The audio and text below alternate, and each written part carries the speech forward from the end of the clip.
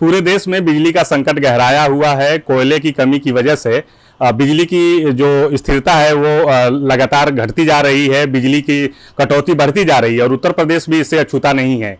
हमारे बीच इस समय उपभोक्ता परिषद के अध्यक्ष अवधेश कुमार वर्मा जी हैं। सर, बिजली का संकट लगातार बढ़ रहा है, इसके प्रमुख कारण क्या है? देखिए, जहाँ तक सवाल है, पूरे देश में अगर आज की डेट में देखा जाए तो कोयले का बहुत बड़ा संकट है। इसका सबसे बड़ा कारण एक चीज़ आप समझिए कि जो पावर हाउस हमारे लगते हैं, उसमें दो तरह के कोल आते हैं। एक डोमेस्टिक कोल जो हमारे इंडिया की खदानों से निकलता है, एक फॉरन का कोल आता है। तो दोनों मिलाकर पावर हाउस चलते हैं। आज की डेट में अगर फॉरन कोल की पहले बात कर लें, जो फॉरन कोल जो हमारे यहाँ इंडोनेशिया से आता है और ऑस्ट्रेलिया से आता है, कुछ अमेरिका से भी आता है। उन कोल की कीमत जो मार्च की मैं बात कर रहा हूँ मार्च में जो 60 डॉलर प्रति टन था, वो सीधा सीधा सितंबर के महीने में दो सौ रुपया तक पहुँच गया।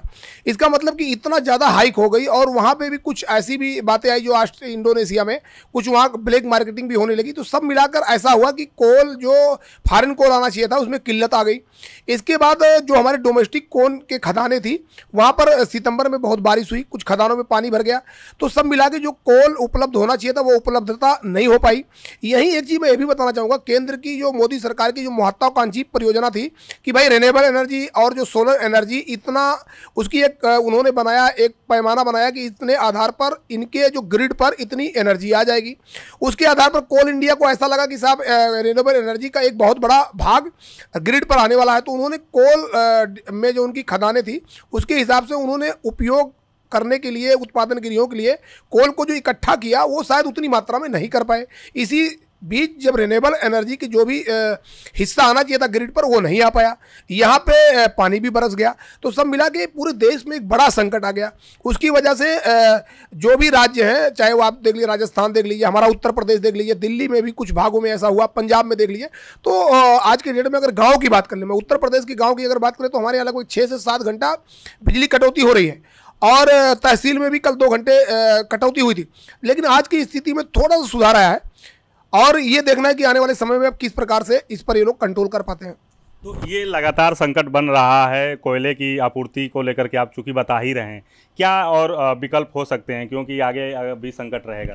देखिए, जहाँ तक विकल्प, अब देखो, हमारे पास एक विकल्प है कि पावर एक्सचेंज पर जो बिजली उपलब्ध है, उसका उपयोग हम करें। लेकिन सबसे बड़ा संकट यह है कि वहाँ भी मुनाफाखोरी शुरू हो गया है।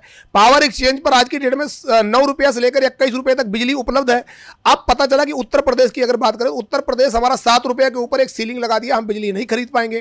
क्योंकि हमारे राज्य में पैसे की उतना थोड़ा सा बिजली निगमों की आर्थिक स्थिति अच्छी नहीं है। अब सवाल ये उठता है कि पाँच रुपया लागत की बिजली को इक्कीस रुपया में अगर मुनाफाखोरी हो रही है पावर एक्सचेंज बेच रहा है तो कल उस पर हमने मांग की थी कि केंद्र की मोदी सरकार को इस पर एक सीलिंग लगाना चाहिए, इस पर प्रतिबंध लगाना चाहिए कि भाई सात रुपया, पाँच रुपया के ऊपर आप बिजली नहीं बेचोगे। मैं आपको बताना चाहूँगा, जब संकट पहले आया, बिजली का संकट आया तो इसके पहले चाइना में और यूरोप में आया। यूरोप में जब ये संकट आया तो वहाँ के एक्सचेंज भी यही काम करने लगे। यूरोप गवर्नमेंट ने तुरंत वहाँ पर प्रतिबंध लगाया कि नहीं भाई, एक सीलिंग है, इससे ज़्यादा आप पावर एक्सचेंज पर महँगी बिजली नहीं बेच पाएँगे। अगर आपको लगता कहीं आपका नुकसान हो रहा है तो सरकार के पास आइए, सरकार सब्सिडी देगी। वही हाल यहाँ भी होना चाहिए।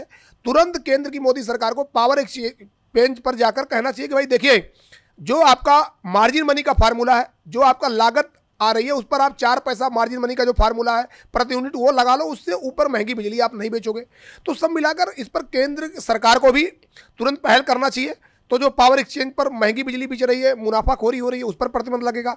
और जब हम वहाँ सस्ती बिजली खरीद लेंगे तो राज्य में जो कटौती हो रही है, उसको हम बचेंगे। इसी बीच आज फिर हमने ऊर्जा मंत्री से बात की कि स्थिति क्या है।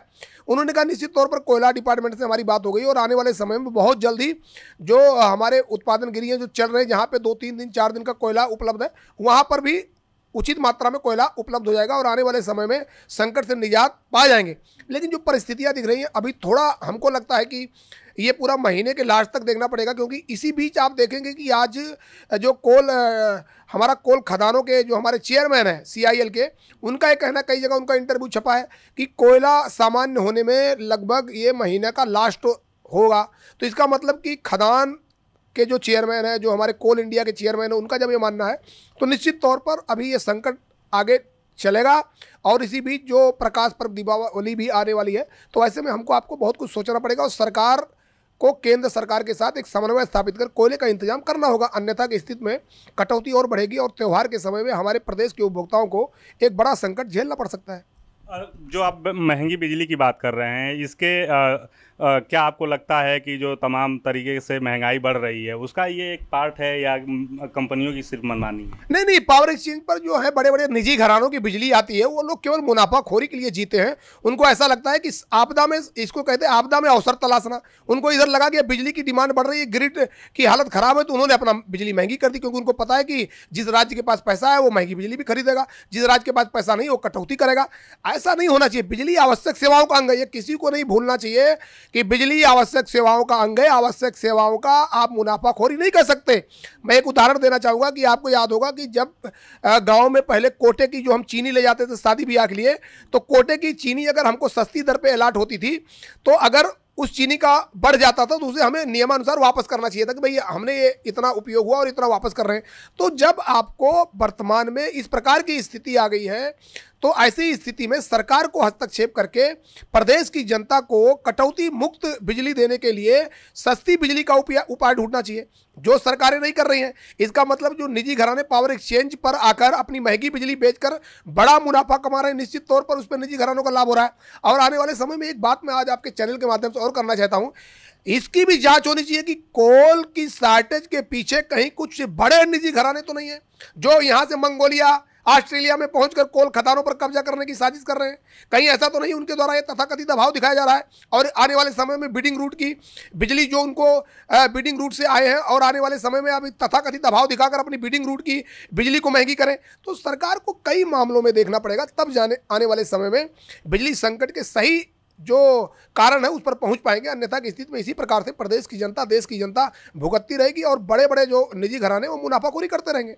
अब प्रदेश जब अंधेरे के संकट में जाने की तरफ़ दिख रहा है ऐसे में कर्मचारियों का ऑफिसर्स का प्रदर्शन चल रहा है उसमें दो धड़े हैं। एक धड़ा जो है आंदोलन कर रहा है वो बंद की तरफ़ जा रहा है और दूसरा धड़ा एक, एक घंटे को एक घंटा ज़्यादा काम करने करने को तैयार है। किस नज़रिए से? देखिए पावर ऑफिसर एसोसिएशन का हमेशा से मत रहा है कि जो हमारे जो भी अनुसूचित जात बैकवर्ड के जो अभियंता पावर ऑफिसर एसोसिएशन से जुड़े हुए हैं उनका हमेशा मत रहा है कि कोई ऐसा काम मत करिए जिससे उपभोक्ताओं को कोई दिक्कत हो। क्योंकि उनका मानना है कि उपभोक्ता है तो विभाग है विभाग है तो हम हैं।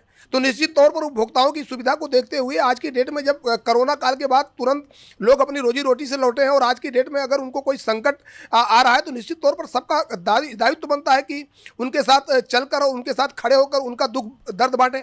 हमने तो कल भी सभी जितने भी कार्मिक संगठन जो आंदोलन के रास्ते पर जा रहे हैं इस भीषम परिस्थिति में उनसे मैं अपील करना चाहता हूँ कि वर्तमान में आपकी जो भी मांगे हैं, जो भी बातें हैं, उसको आप रख लीजिएगा। लेकिन इस संकट के दौर में आप काम पर लौटकर प्रदेश की जनता को आज की डेट में उनकी सेवा करें। अन्यथा की स्थिति में एक सबसे बड़ा सवाल देखिए, जब अभी निजीकरण की बात आती है तो जितने बिजली संगठन के बड़े बड़े नेता हैं, वो कहेंगे कि प्रदेश के उपभोक्ता हमारा साथ देंगे, हम किसान हमारे साथ आएँगे, वो निजीकरण का विरोध करेंगे। आज जब हम संकट में तो आप हमारे साथ खड़े नहीं हो रहे हो। कल को इसके बाद आपका जब निजीकरण विभाग होगा, इसी प्रकार की कार्रवाई करोगे तो निश्चित तौर पर किसान और उपभोक्ता आपके साथ क्यों खड़ा होगा? तो इस प्रकार की बातें जो है, इसको सबको समझना चाहिए। बिजली आवश्यक सेवाओं का अंग है। आपदा में अवसर तलाशने का प्रयास नहीं करना चाहिए चाहे वो कार्मिक हो चाहे वो सरकार हो चाहे वो विभाग हो चाहे वो उपभोक्ता हो। आपदा में अवसर तलाशने का काम वही लोग करते हैं जो अपने निजी स्वार्थ में राजनीति करते हैं। तो ऐसे में सभी लोगों को एकजुट होकर आज की डेट में प्रदेश की जनता को बड़ी राहत देने की दिशा में प्रयास करना चाहिए। ये जो आपने एक घंटा ज़्यादा काम करने का निर्णय लिया है ये सरकार की तरफ़ से की गई कोई अपील है? और दूसरा धड़ा क्यों इस बात को नहीं समझ रहा है? देखिए सवाल ये कि सरकार हर बात की अपील करने नहीं आएगी।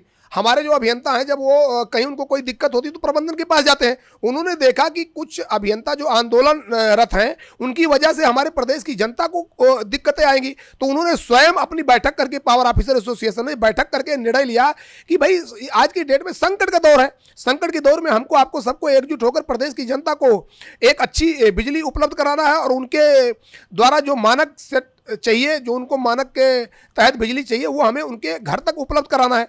इस दिशा में पावर ऑफिसर एसोसिएशन ने स्वयं यह निर्णय लिया कि हमारे उपभोक्ता, जिनकी वजह से विभाग है, उपभोक्ता देवभोग इस संस्कृत पर बिजली विभाग चलता है। उपभोक्ता देवभोग इस संस्कृत के लिए हमने जब अपना सम्मेलन किया था दो फरवरी को, माननीय ऊर्जा मंत्री के सामने हमने यह शपथ ली थी कि उपभोक्ता देवभोग इस संस्कृत पर आगे बढ़ेंगे। तो उपभोक्ता देवभोग की संस्कृत की अगर हम शपथ लेते हैं तो निश्चित तौर पर जब उपभोक्ता संकट के दौर में है तो उसको ये पता चलना चाहिए कि हम आपके साथ खड़े हैं। तो उस संस्कृत पर आगे चलकर हम प्रदेश की जनता को अच्छी गुणवत्ता की बिजली उपलब्ध कराने में अपना योगदान दे रहे हैं। हमसे बात करने के लिए बहुत बहुत बहुत धन्यवाद। तो ये थे उपभोक्ता परिषद के अध्यक्ष अवधेश कुमार वर्मा जी, जिनका भी कहना है कि बिजली का संकट लगातार बना हुआ है, कोयले की आपूर्ति नहीं हो पा रही है। साथ ही उन्होंने बिजली के अधिकारियों और कर्मचारियों से अपील भी की है कि वो इसमें सहयोग करें, इस संकट को दूर करने में सहयोग करें। वो खुद एक घंटा, इनका जो संगठन है, एक घंटे ज़्यादा काम कर रहा है। और दूसरे संगठनों से भी वो लगातार कह रहे हैं कि इस संकट को दूर करने के लिए आगे आएँ। सहयोगी बाबूलाल के साथ सुशील कुमार, डेली इंसाइडर लखनऊ।